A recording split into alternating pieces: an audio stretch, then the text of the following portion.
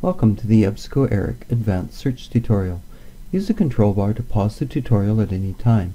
You may need to use the scroll bars to position the page correctly on your screen. Use speakers or headphones if you wish to listen to the audio. The default search mode in this example is Find All My Search Terms. In this case, ERIC puts AND between all the words we type. Boolean search allows us to enter words joined by AND, same as find all my search terms, or the same as find any of my search terms, or not, useful for eliminating words we don't want.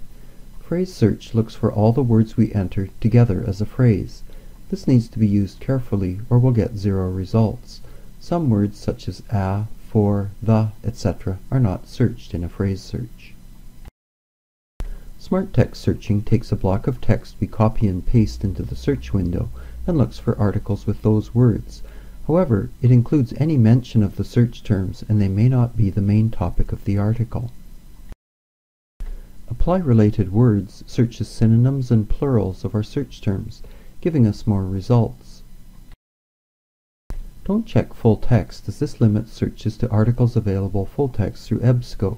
Articles may be available full text in another database to which the library subscribes but they won't appear if we check full text. It's usually better to start searching using terms from the thesaurus, but sometimes we can't find suitable thesaurus terms. In that case, the advanced search provides a number of useful ways of focusing a keyword search.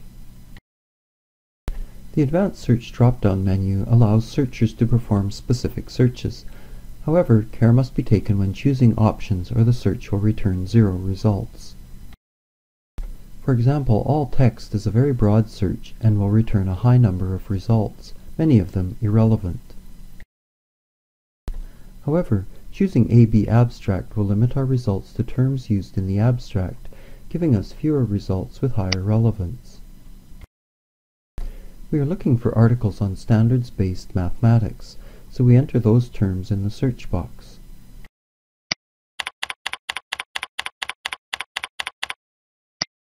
The latest version of ERIC has some minor interface and behavior changes.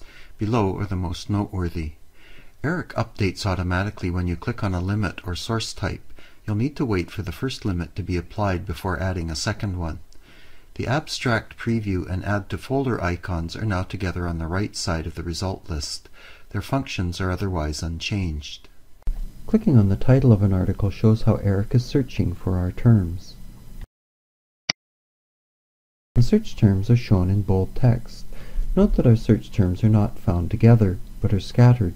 We can get better results by searching standards-based mathematics as a phrase. To do this, we return to our results list,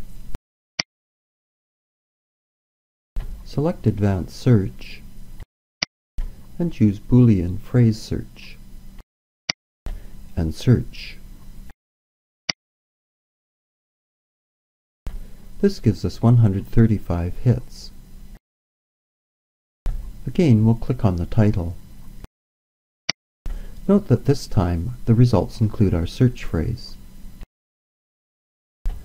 Other useful information includes a list of descriptors. These are other subject terms that have been applied to this article, which can be useful in expanding our search in new directions. Let's return to our result list. Truncation is a way of searching for multiple word endings. We'll truncate mathematics to math asterisk, so we search for all forms of the word including maths, mathematical, etc. We will also use a proximity search N4 meaning it will search for any variation of mathematics within four words of the phrase standards-based.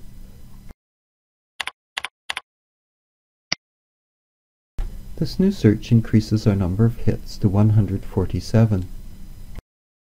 A way to improve the quality of our results is to select the peer-reviewed checkbox.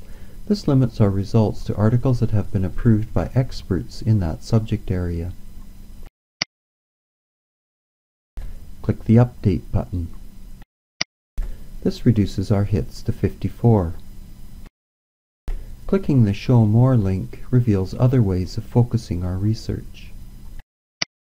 We select Elementary Secondary Education in the Education Level box.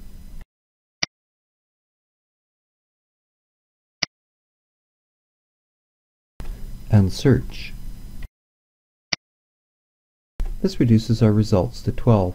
If this is too few, we can click on the search history to go back and revise or rerun previous searches, or change some of our search options.